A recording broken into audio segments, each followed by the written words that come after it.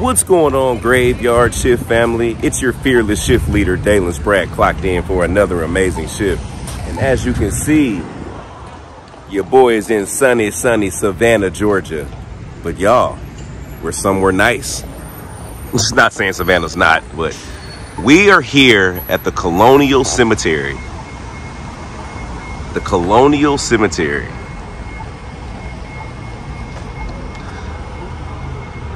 Doesn't this just feel so inviting? This is one of Savannah's most notorious resting communities. It says this cemetery, the second in colonial Savannah, was the burying ground for the city from about 1750 until it was closed against burials in 1853. So they stopped putting people in here in 1853. This resting community is from the 1700s. The 1700s, y'all. Look at this.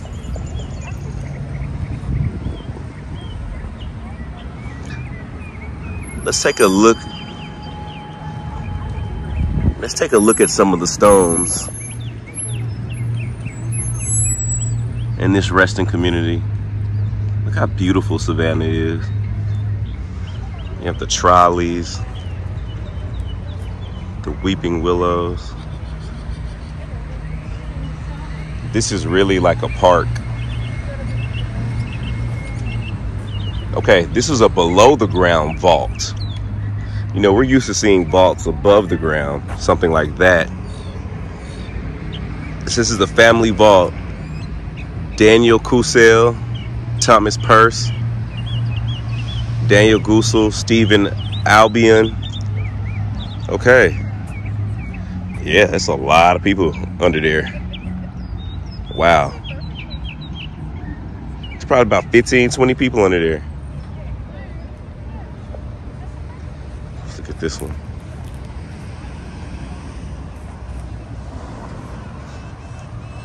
Look at this. Look at this. Wow, does it even have a name or a headstone? Oh, okay, here we go.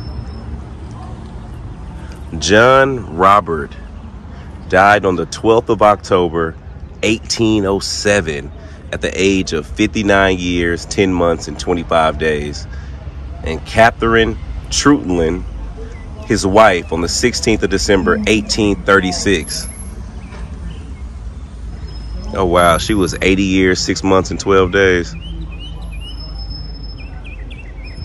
Wow. Wow. Savannah's definitely a, a older, older town, y'all. Look at this. Underneath the weeping willow tree.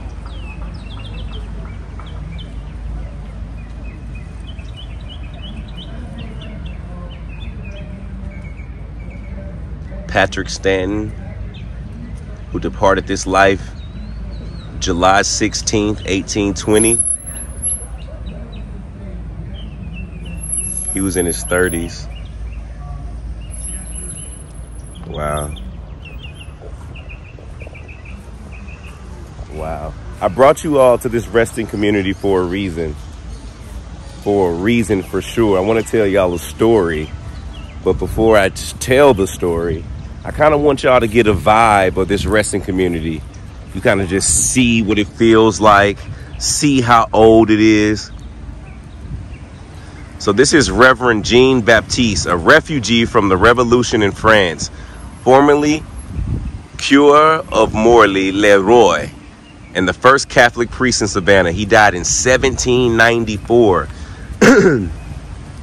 this man passed away and was buried here in 1794 we haven't bumped into anyone buried that early in Atlanta yet. Yet.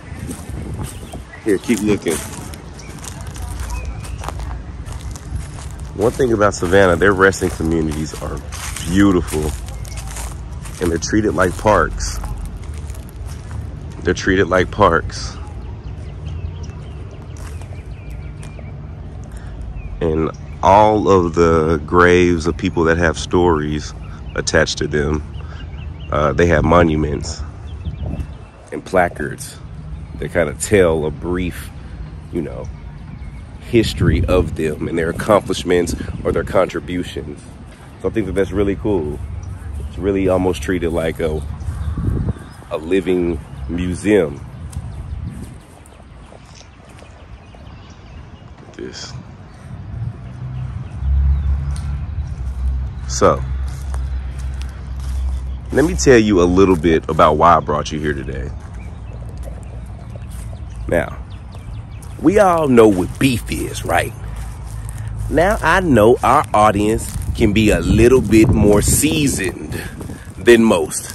So for, for those that are a little bit more seasoned or you live out the country, a beef is an issue that you have with somebody, a problem that you have with somebody, your your worst enemy, your your uh, uh, uh, your arch nemesis. Y'all got beef. But see, people think beef is new.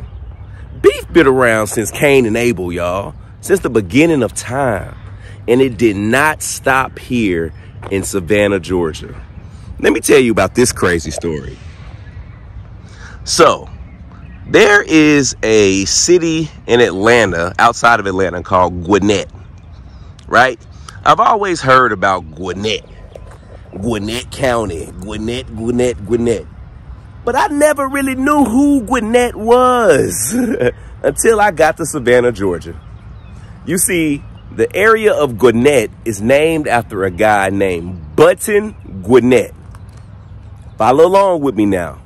Button, like a button on your shirt. You see, Button was from England, and Button got named after his grandma, Grandma Button, Nana Button. so they named the young man Button Gwinnett, right? Now,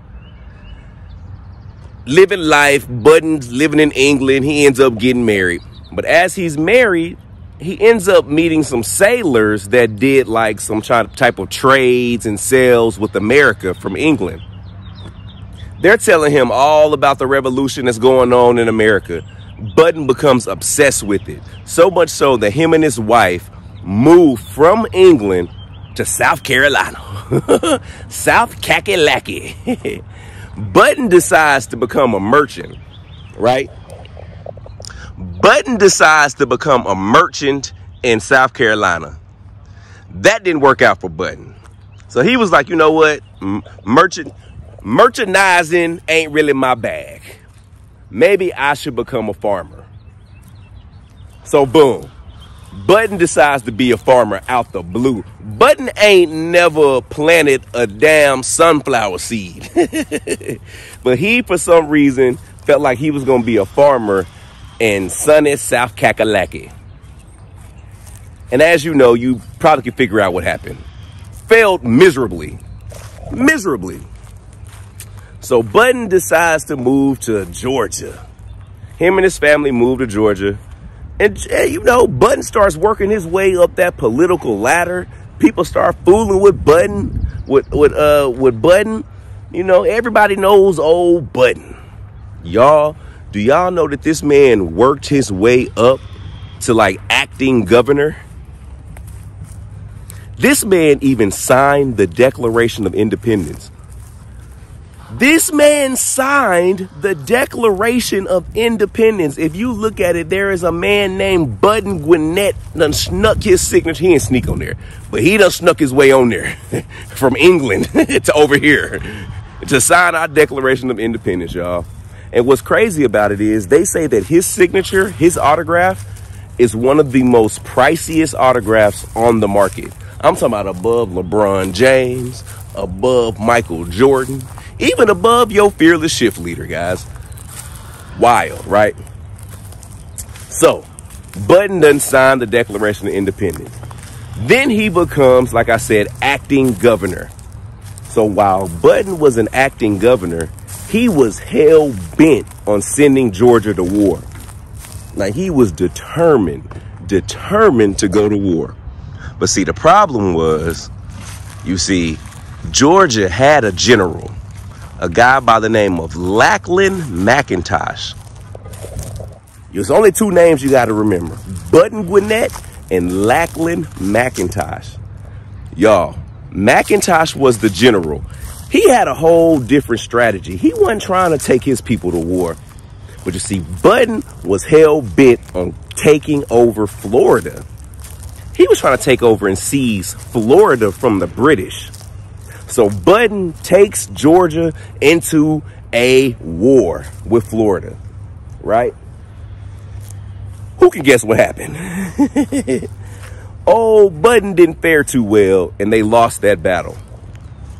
Now, now it's time to get back to Georgia and they got to talk to the Georgia Assembly to figure out what the hell happened and why y'all boys out here fighting with Florida and losing. Y'all, do you know that during this General Assembly, Button got up there in front of all of those people and looked them dead in their face and said, look, crazy, right? It wasn't even me. It was your boy, General McIntosh. Old Mac attack over there, man. I told him, I said, hey, Mac, Mac, Mac, Mac, baby, we ain't got to fight Florida. we ain't got to fight Florida.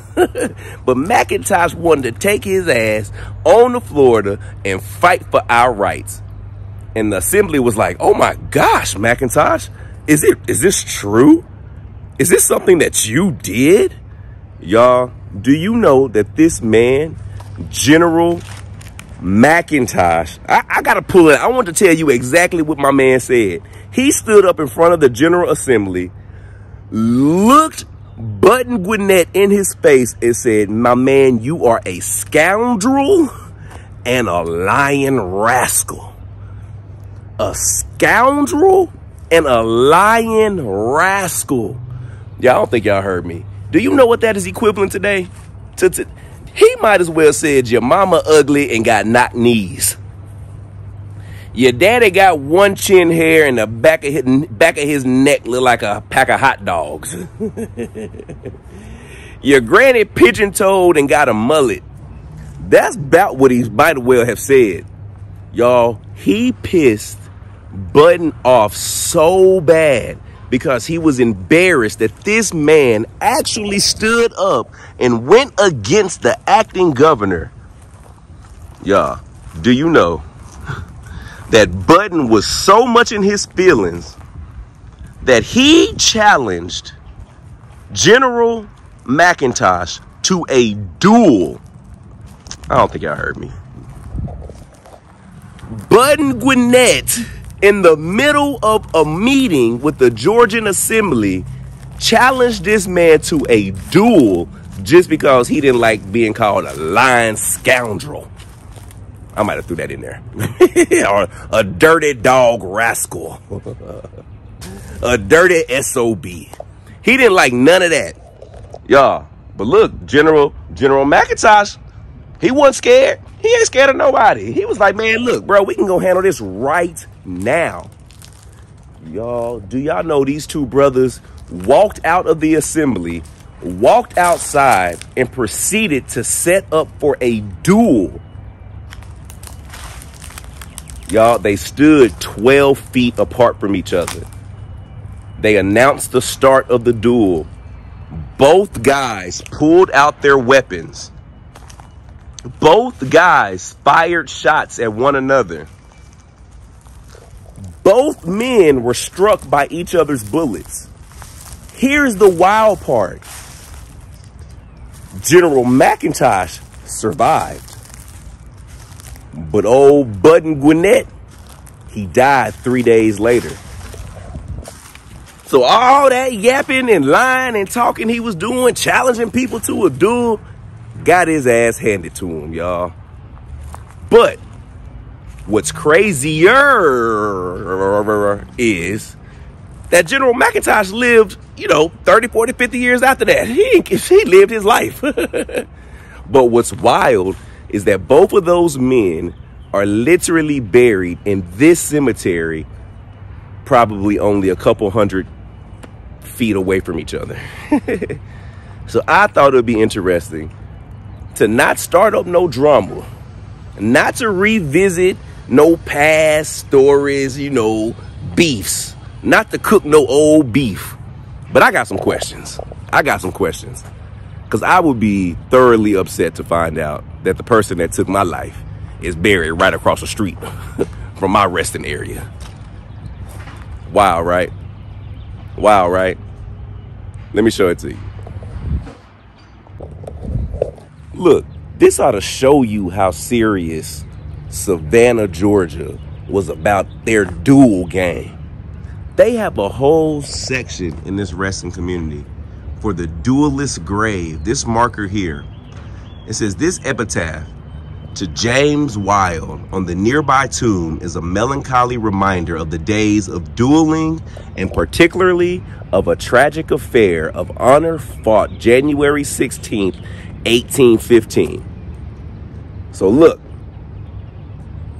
it says Lieutenant Wilde was shot through the heart in a fourth exchange of fire by Captain Roswell P. Johnston, and who is referred to in the epitaph in bitterness as a man who a short time before would have been friendless but for him.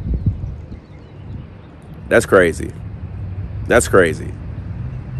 They wrote on this man's uh, grave right here, on his headstone.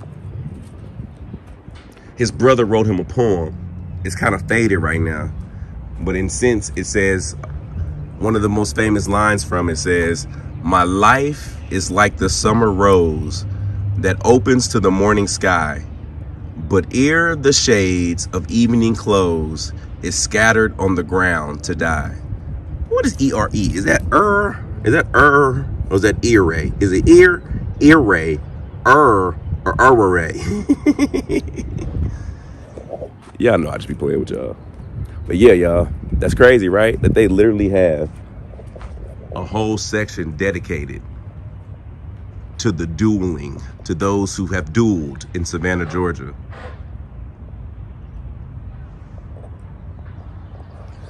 I ain't gonna lie to you. If I lived back there, your boy probably would have gotten to a couple duels.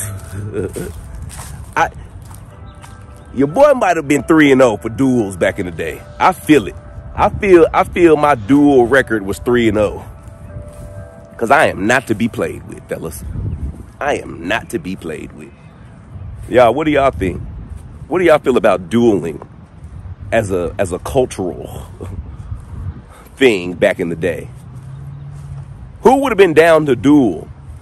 Have you ever been, let me ask you this in the comment section. Have you ever been so adamant about something, a conversation, an argument, the way you felt towards somebody that you would have, you would have dueled them.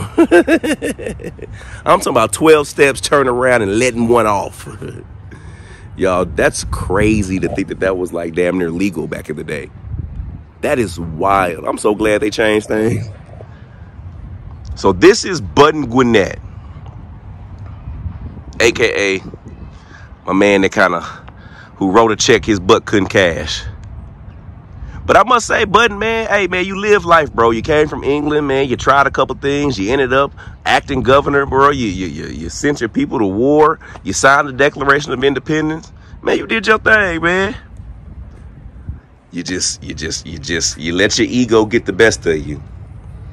This memorial to Button Gwinnett, Georgia signer of the Declaration of Independence, President of Georgia, whose remains buried in this cemetery are believed to lie entombed here under, was erected by the Savannah Chatham County Historic Site and Monument Commission. Good old button. Y'all, there's a lot of people standing around, but I'm still gonna try to do a session. So we're gonna see. Let's get to it.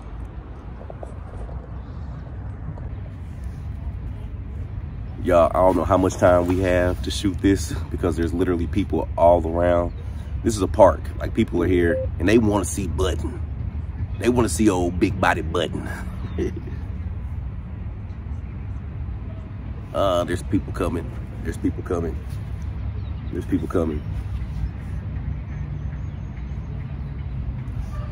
Um, Yeah, oh well. oh well, welcome to the shi welcome to the shifting zone. Budden, Mr. Budden.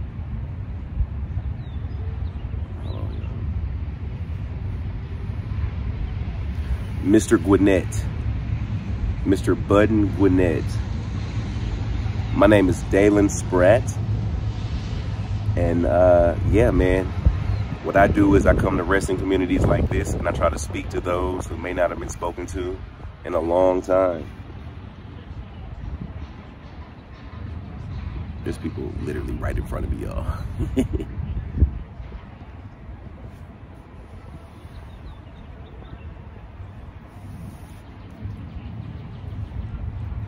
Hold on, let me.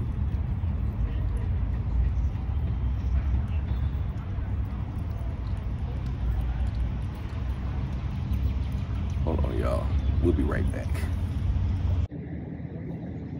All right, y'all, we back. we back. Some people came over here talking to me. So I had to explain what I was doing. But we're back. All right. So Budden, Mr. Budden, Mr. Budden Gwinnett. I actually live outside of Gwinnett in Atlanta. So it is an honor to be sitting here with you. But I do have a lot of questions that I would like to ask you. Again, my name is Dalen. I come in love, peace, and respect. Mr. Gwinnett, are you here?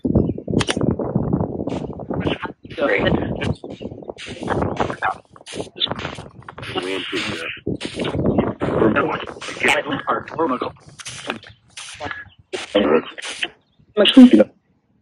Uh-oh. No. and uh, Is Mr. Gwinnett here?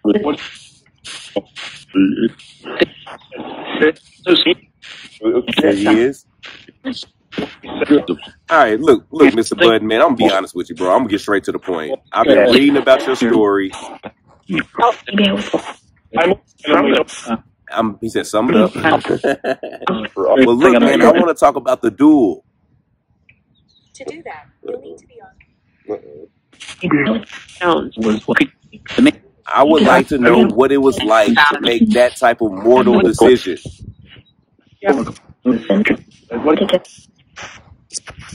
No.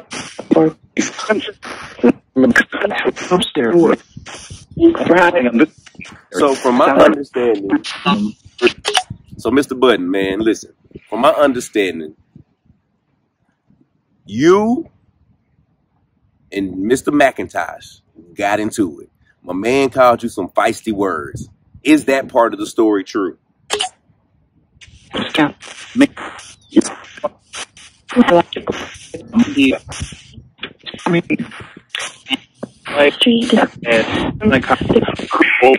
Do you remember what he called you? Yes. What did he call you?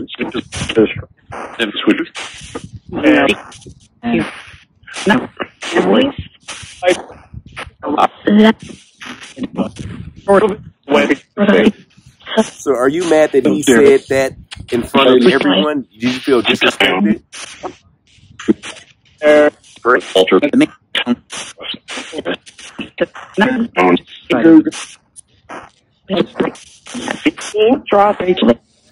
Okay. So you felt disrespected, so you called him out to a duel. You said, yeah. yes, I did. Okay. Now let me ask you this. In your heart of hearts, did you just think that you were just a better shot than him? Like what was your mindset going into this duel?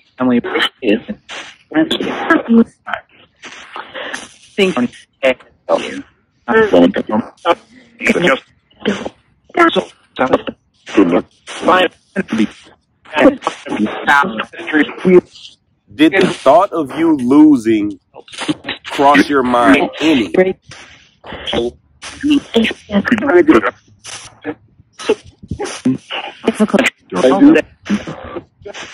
We have So we asked for it. So are you just okay with whatever the results were going to be?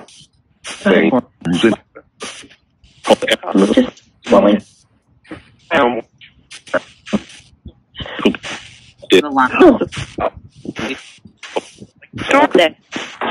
So, what was going through your mind right before you pulled the trigger? Dave.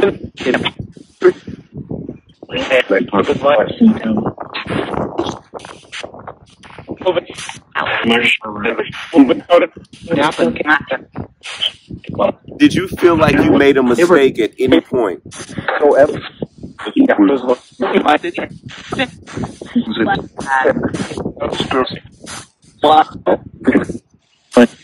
So, what do you feel like was the mistake that you made?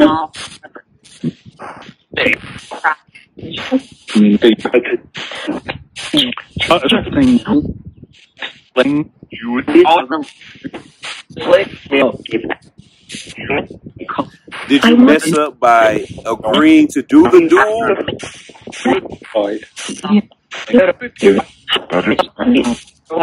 or did you mess up because you didn't get the perfect shot off? Well, he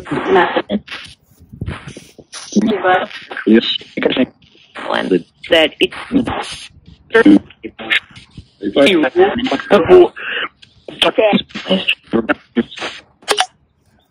Mr. Budden, Mr. Budden Gwinnett, look, man, I joke about the situation of just moving off of emotions because essentially you moved off of emotions, man, which is me. All you have, they say a man only has is his word and like, you know, his reputation. So like, I understand you feeling like you had to stand on that. And I respect the fact that you stand, you stood on it all the way to the end. Yeah, you might have lost, but respectfully, you took it all the way to the end. I kind of look at it like back in the 70s, you know, when people in the movies used to get in the car and the guys used to race play chicken on the on off the side of the mountain and the guy ends up like staying in the car and going off the side of the mountain. Yeah, he did, but he proved a point. Mr. Button, you definitely proved your point, man. I just want to know, do you regret taking it that far?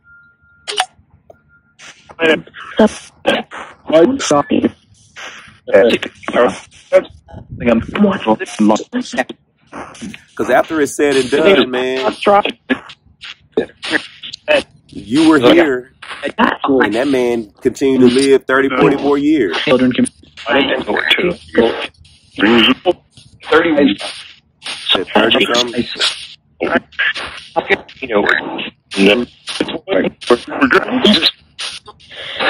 Was your ego hurt worse in the afterlife because you lost?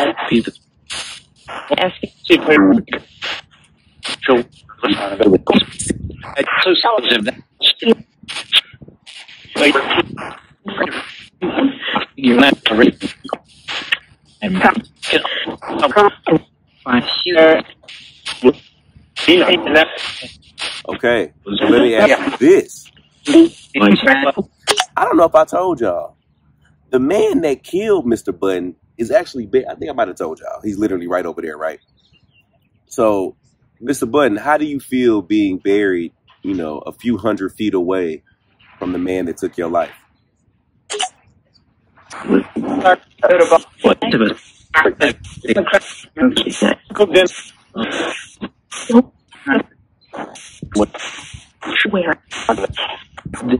Or is it at the point of it being a duel, it's a manly fight? So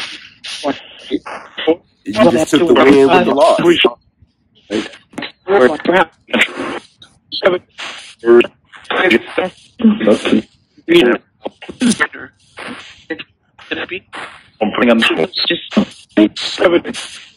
So, Mr. Gwinnett, how do you feel about the life you live?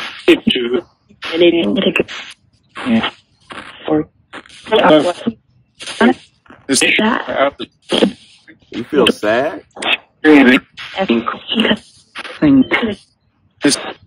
Why do you feel so sad?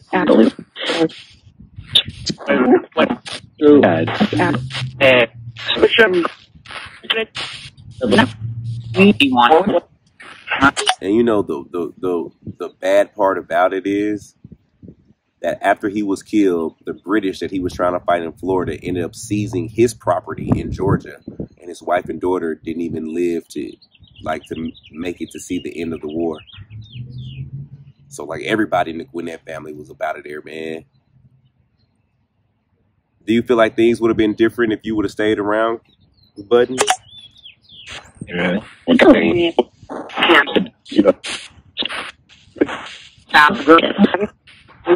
Take. Okay. I think about. Oh, Were you happy to be reunited with your family? about me. So, Incredibly.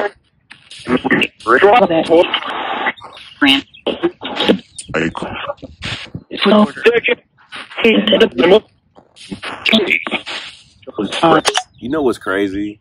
It makes me think about my friend James, who uh, I told y'all the story of how he wanted this woman so bad that when he finally got her, he lost his life, essentially, potentially, behind her. It's like the thing that he wanted the most cost him his life. So fast forward to Button here. He wanted to move from England to America because he was so like just interested in like the revolution and what was going on. Worked his way all the way up, like wanted to be a part of that system. The system that essentially killed him. I don't know. Button, how do you feel about that?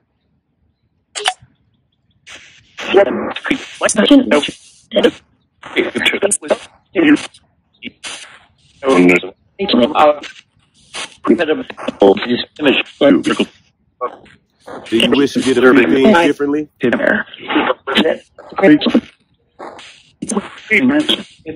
Pretty much. Hey man, but you got your legacy, right? Are you happy with your legacy?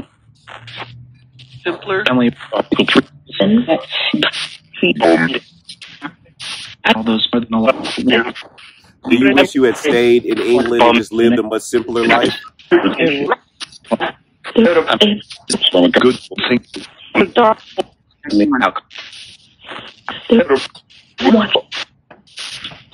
Okay. Well, Mr. Button Gwinnett, I appreciate your time, sir. Thank you. Is there anything else you would like to say?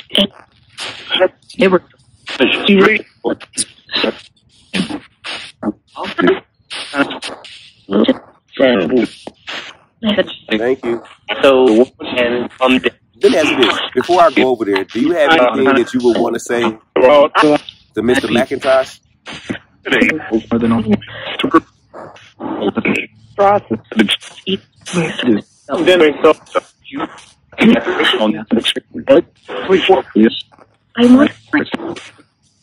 Okay. All right, man. Thank you.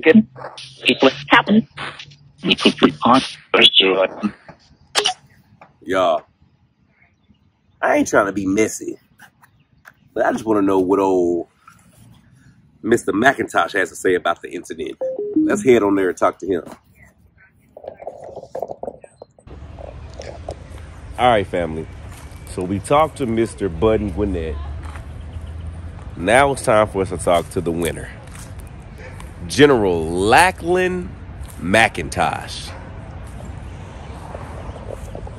1727 to 1806. In memory of Major General Lachlan McIntosh. Lachlan McIntosh, Georgia's ranking continental officer in the American Revolution, was the son of John McIntosh, who settled with a group of Highlanders on the Altamaha in 1736.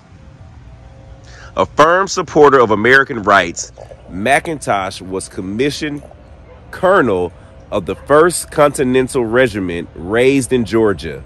A feud with Button Gwinnett, signer of the Declaration of Independence, resulted in a duel fought near Savannah.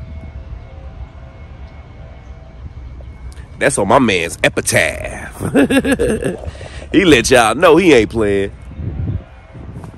Did uh I don't think Mr. Button had the duel on his mentioning on his grave. But the winner show did. That's messed up. That's messed up, y'all. Let's do a spirit box session here. I just want to see what General McIntosh's vibe is, and does it differ from that of, you know, acting Governor Button Gwinnett? That's crazy. All right, let me set up.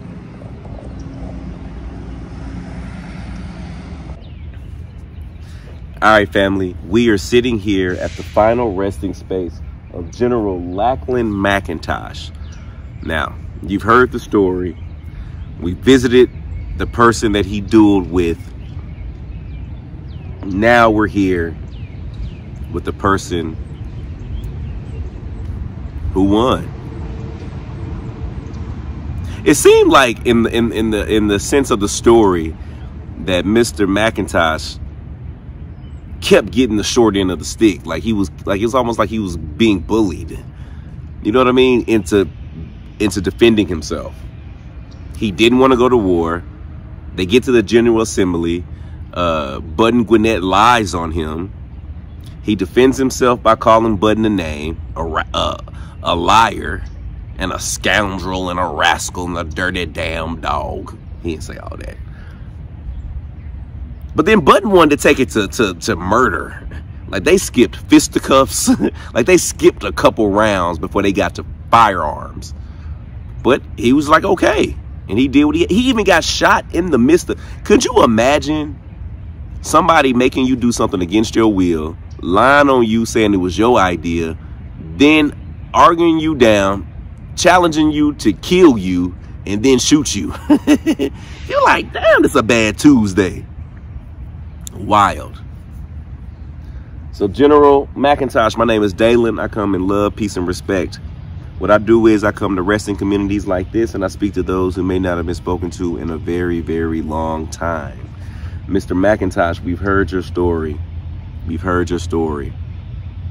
And we would love to just get your opinion on what happened. Again, my name is Dalen. I come in love, peace, and respect. There's people in front of me on the street watching me, y'all. That's okay. Is there anyone here that would like to speak to me? Kind of No way. Said no way.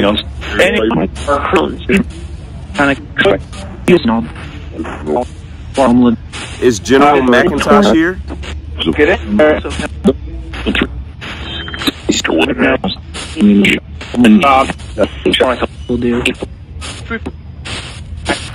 With General McIntyre. to it that it I've heard a uh-huh. lot of stories about you. I can. Quote.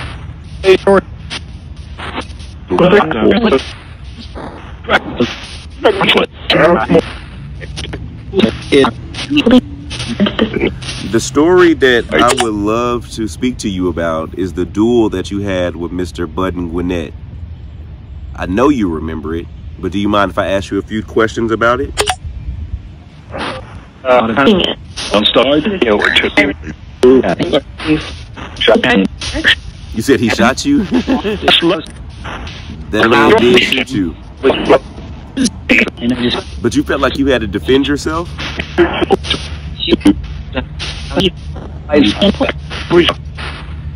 think In there. So let me start from the beginning. I just have a few questions and I'm gonna get out of here. Said ask me. Oh. Okay, General McIntosh, how did you feel about Mr. Gwinnett when you when you first met him?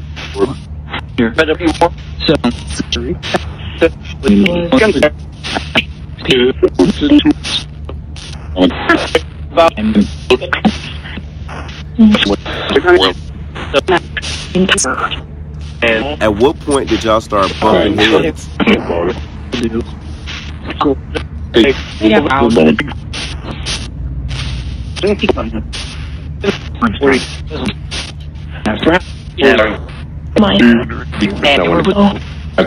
do Okay, so when it was time for y'all to go to war, were you totally against the idea of going to war? I know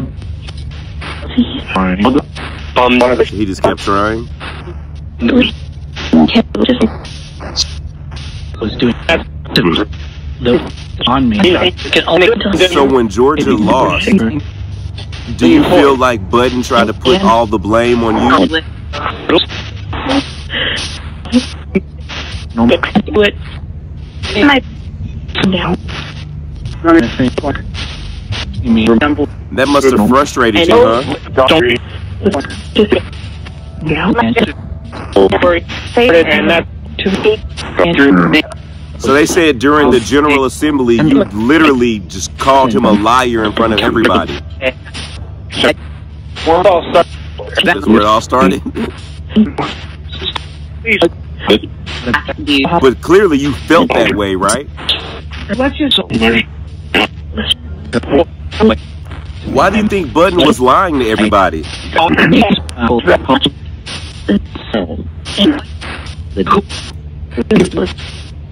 That he was useless?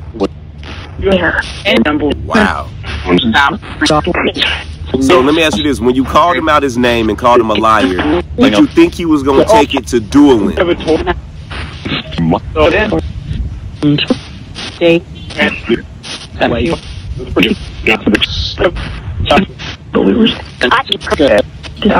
Did it surprise you that he wanted to duel with you?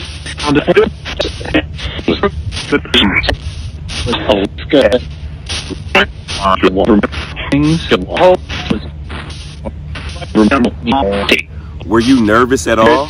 Pretty much. Pretty much, yeah. So he was asking for it.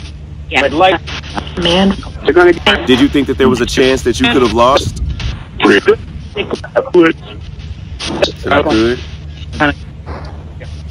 So what do you contribute to you winning? start you know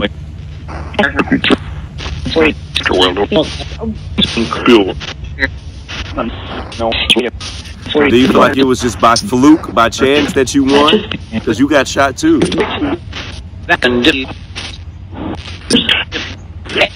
Oh,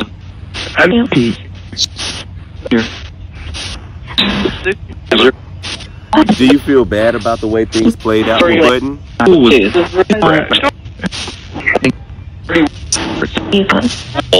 That he's gone?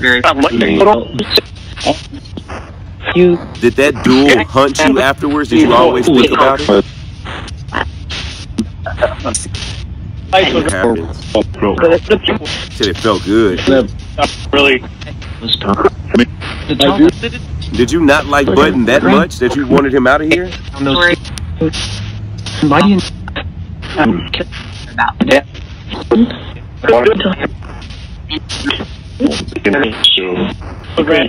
Have y'all bumped into each other on the other side now? again he felt Shoot. What do you fucking you know? Have y'all had a conversation since it happened? lights? I call Have y'all resolved y'all's issues? you know, you know, Shoot. play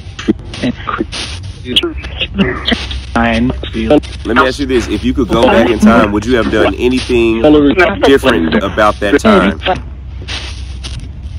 So we're gonna play. I mean you would never Grandma.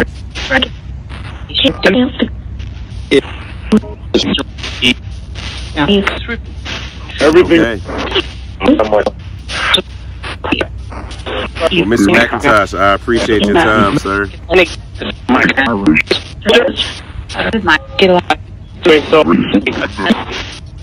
Sound like somebody keeps saying "get up." It might be somebody else that's buried over here that want me that doesn't want me talking to him about that. Don't it set off the conversation sound a little bit different from the person that uh you know that was defending themselves versus the person that was seemingly the aggressor? It's an interesting story, man. Again, beef goes back to the day of Cain and Abel. But back then you could handle it a little bit differently. Thank God for progress. Y'all, this has been another episode of The Graveyard Shift. Thank you for tuning in. Love, love, love. history can be wild. Stay out them duels, baby. Stay out them duels.